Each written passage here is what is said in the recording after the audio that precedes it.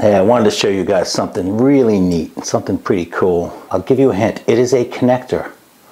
Right now what I'm holding in my hand is a modern version of the connector, which is pretty much identical in appearance to the actual vintage version of this connector, okay? All right, what is it?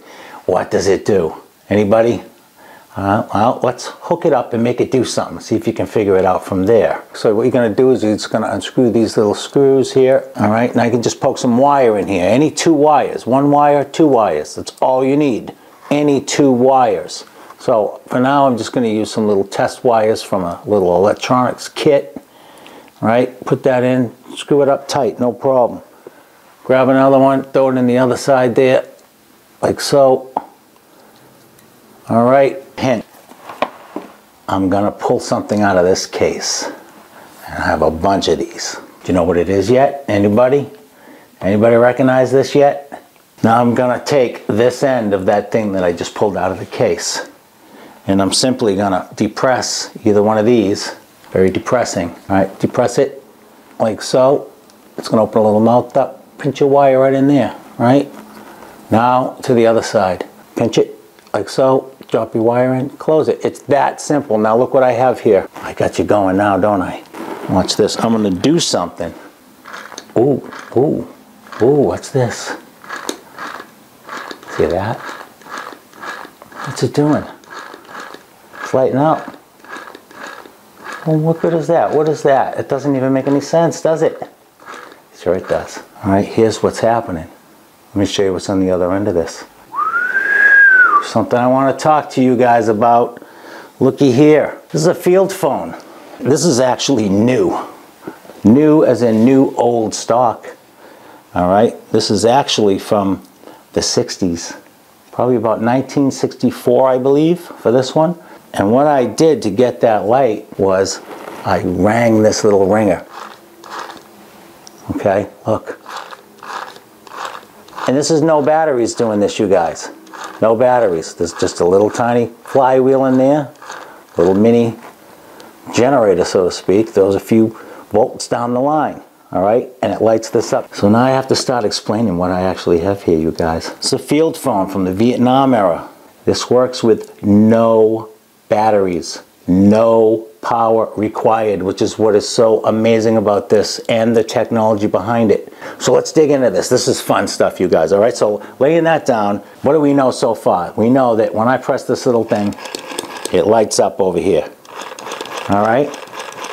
Now here's what's cool about it. I can, if I want, take another phone, just like that. Hey, what a coincidence, I happen to have one right here. Okay, a little nice little waterproof case here, you open them up. Looky here, another one. Brand new old stock right here. All right, there's that end.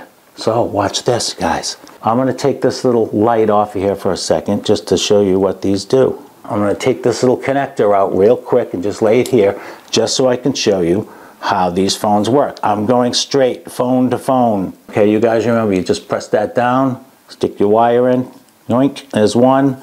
Press the other side, stick it in there, yoink, there's two. As you can see, I have simply connected two wires.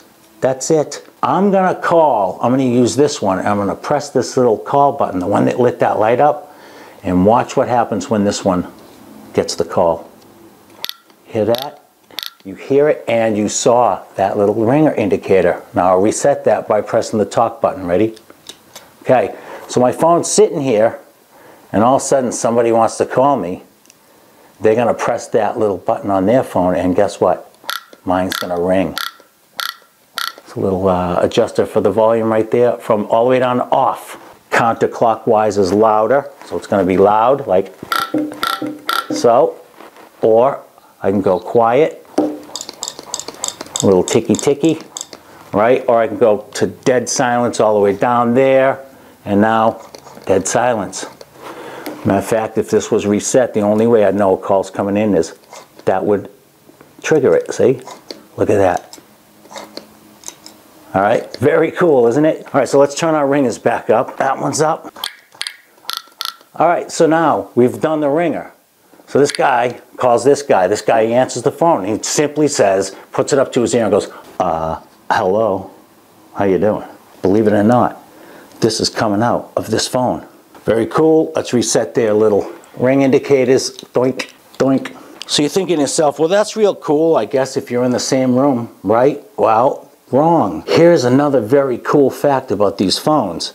You see this little two-wire system here that I put in? Guess what?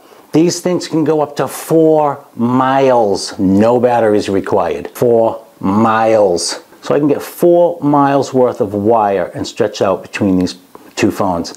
And they can communicate with no power, no batteries. How would they get four miles of wire? Well, real simple. Military phone wire. Military com wire. There's a thousand feet right there alone. There's another thousand feet right there. You can buy this stuff in one mile, two mile rolls and just roll it out. You're gonna wanna probably bury it or do what you gotta do, but you can roll this out. That's pretty cool. Two guys can talk to each other. You could see how you could use that in a survival situation, right? You know, maybe there's an outpost watching, can call back to the main camp. They answer and they're like, hello, and he's like, hey, a horde of zombies heading our way. And, it, and this guy's like, all right, we'll let everybody know. That's pretty cool, up to four miles apart. All right, so you guys are thinking that is so cool. Guess what? It gets cooler. Watch this. Watch this. I'm going to introduce you to another piece of this. Let's get these out of the way. Also, from the Vietnam era. Oh, such a simple, simple thing. This is very cool to have. If you can get one of these, it's great. But this thing I'm going to show you, you can make yourself. So I don't want you to think this is something super complicated. I'll show you how this works. And you'll see how easy it would be to make it yourself. And again, it all boils down to this little guy. It's why I started out with this little guy. All right, you ready? Watch this. Let's open this up. What is it? What is this? Oh, look it. Now this is a very nice specimen. Actually, these are tough to come by, you guys. Now that you see what we're playing with, what do you think this is? Just loosen our little strap up here a little. All right, I'm gonna flip that little lever open and then pop it open. Oh, you guys recognize these, don't you already? Little doodads, more of them. All of these in here are vintage. So you're looking at 50, 100, 200, 350 bucks in little vintage connectors alone. And then, of course, the box itself is going to cost you too if you want to get one of these. Uh, you can find them on eBay. Sometimes they come along less expensive. If you see them, grab one. If not, you don't need the box itself. I'll show you how this works though. So cool. All right, so the first thing I want to do is just kind of lock my lid open, lock it into place. See, it comes with the little locks for it. Just go right up and they just lock right there, all right? So now that stays open, that's all good. We'll put this new guy away and we'll just use the actual vintage pieces here, all right? This, my friends, is a telephone switchboard. Yes, it is. I know you don't believe me. It is a telephone switchboard and it's a good one. Watch this, okay? So here's what would happen. I would be sitting here at the switchboard. I'm the telephone operator and I would take this guy from the telephone side and do what we showed you before and simply connect my phone. Two wires, very simple. I actually can use short wires if and I want to for this because you know what? I'm running the switchboard. I am the operator. There we go. I got my little two wires. Now, I'm just going to plug this in right here and it stands up. See this? Look at that. I plugged it in right there. But when I say plugged in, it's not really plugged into anything. All that is is two little holes. That's just two little plastic holes. No connectors in there. It's not making any connection. All it is is to, to hold my little connector. All right, just to hold it. Doink, I can just stick it right there, just to hold it. So that's me. Let's put me here. I am the telephone operator. I'm gonna rest myself right here. Out in the field, I got my outpost, let's say. So we'll put outpost over here at number one. Roman numeral 1, I. All right, so we're going to take our little connector here. We're going to unscrew the little brass screws. We're going to take our little two wires. Again, two wire system. All right, we're going to poke that in there, tighten it down, poke the other one in, tighten it down. So now I got two wires in this connector, all right? I'm going to just put that over here. Again, this isn't doing anything as far as making connections. I'm just sitting it here. That's number one, and that goes to our outpost. So let's say that's a thousand feet away or four miles away, doesn't matter. I'm gonna run that wire, okay? I'm gonna run it all the way out to my outpost. For now, let's just pretend we ran it way out, but we're putting it right here instead so that you can see everything happening at once, all right? Here it is. This is four miles out, and there it is. Now, way out there, I got Joe Schmuckatelli. He's out there guarding the outpost, watching for the hordes of zombies. He's got his phone, all right? So we'll put that out here, out at the outpost. There it is. And what does he do at the other end of that wire? He simply connects his two wires to his phone. If he would like, he could run the wires through one of these first and get the light along with the ringtone, the little clicky ring. But for now, we're just going to take the end of Schmuckatelli's phone and we're going to connect it to the other end four miles away and there it is. Now four miles away Schmuckatelli's all hooked up. What the hell I got a bunch of these things. Here's another one.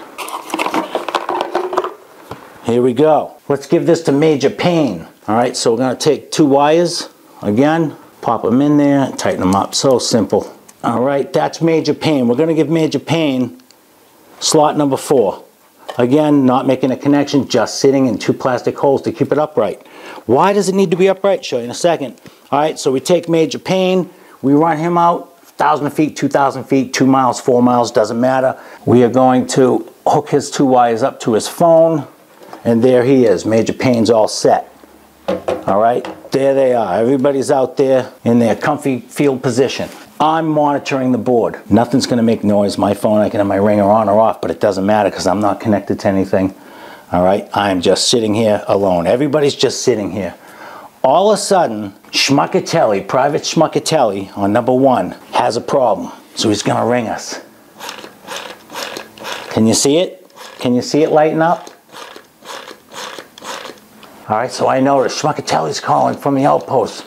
Could it be a horde of zombies? I don't know. Here's how I answer it. All right, as the operator, I simply unplug myself and I will literally come over here and plug into Schmuckatelli's jack. Do you see that? Stacks right on top. Look at that. Now I'm talking to Schmuckatelli just like before, phone to phone. Hey, what's going on, Schmuck? And he's like, hey, uh, just checking in, you know, doing my half hour check in. Everything's cool, no problems. And I'm like, all right, cool. That's all good. I'll see you later. He hangs up by just putting the phone down. I hang up by putting my phone down and simply disconnecting from Schmuckatelli. I put mine back here, just waiting for another call, and I keep my eye out. It's nighttime. Major Payne makes a call over here to the switchboard. So the operator is going to pick that up. He's going to plug in to Major Payne. There you go. He's going to answer that. It's going to be like, all right, what's happening, Major Payne? Major Payne's gonna say, patch me in to Schmuckatelli over at the outpost. All right, hold on a second. Now, you can just pluck both of these out and plug them in to the outpost. Get in there, you. And basically say, all right, you two are connected. Now, he can just pull himself off and plug back in over here to just wait for a call. And these two are over here talking. When these guys are done over here, one or both of them is basically gonna just ring back like so and that'll light it up and let the operator know that that call is all done. He can disconnect that now and throw everybody back where they go. And there you go. Now you have a small company of people that can speak up to, you know, six of them plus the operator. Or, here's another cool thing you can do. Grab another one of these. Right? Pop that guy open, same old, same old. You have another switchboard.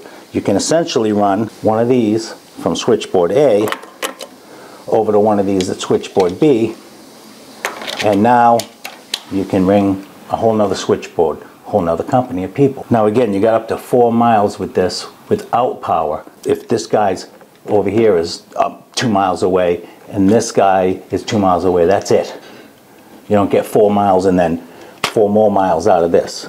They do make the powered switchboards, which can go up to 20 miles, and powered phones as well. You can get 20 miles out of them. But for a basic setup, you can get a community set up with these quickly. Here's my kit all together.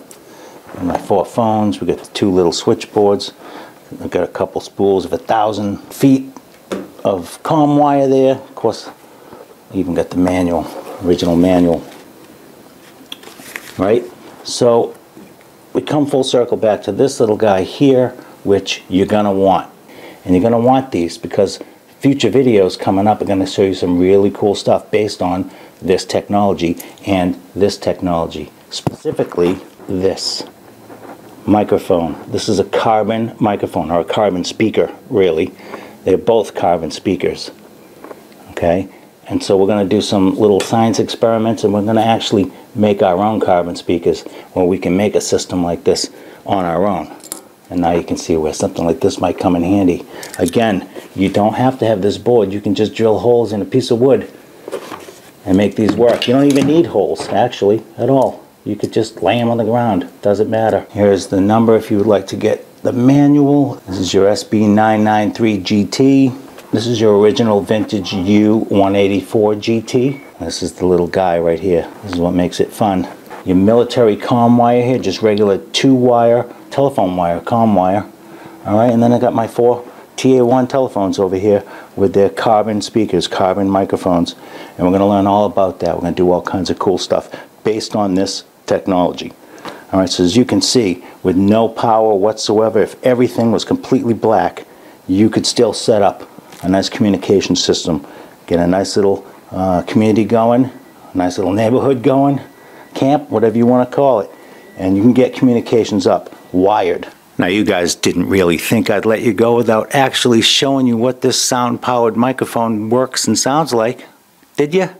Come on. So here's my plan. Here's what I want to do. I'm going to take this little wireless microphone off my lapel and I'm going to stick it right there on that earpiece. And as you can see by the amount of wire I've pulled off that spool, I dragged another phone as far away as I could and still be in my house. This is all the way down to my garage and I'm on the second floor, okay? Other end of the property. So let me test it out. I will, of course, edit the time it takes me to walk there, but I'm going to put the microphone right there in that earpiece. I'll call this phone and then uh, do a little talk and see uh, what happens. All right, here we go. All right, and what you got to do to activate this is there's a little button on this side. Now this is the ringer on this side, and this button on this side is the PTT or push to talk. All right, so you push it just like a CB, you start talking. All right, so I will edit the time it takes me to get down to the garage, but off I go, and let's see how this thing works. Two very boring minutes later.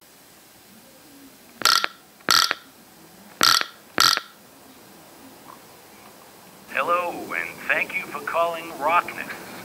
Our hours are Wednesday through Sunday, 6.30 a.m. Just kidding, you guys. Hey, it works though, doesn't it? Amazing, up to four miles. Now, granted, it's not super loud, but four miles, no power, no batteries, sound-powered microphone, come on. This is really pretty cool. I hope you've enjoyed this little video, and I'm not going to waste this audio opportunity. I'm going to use it to tell you to go ahead and visit www.rocknus.com, R-O-C-K-N-U-S.com. Check out all the cool stuff we got. We are purveyors of the finest in EDC, covert tactical, and survival gear. Thanks again. Bye now.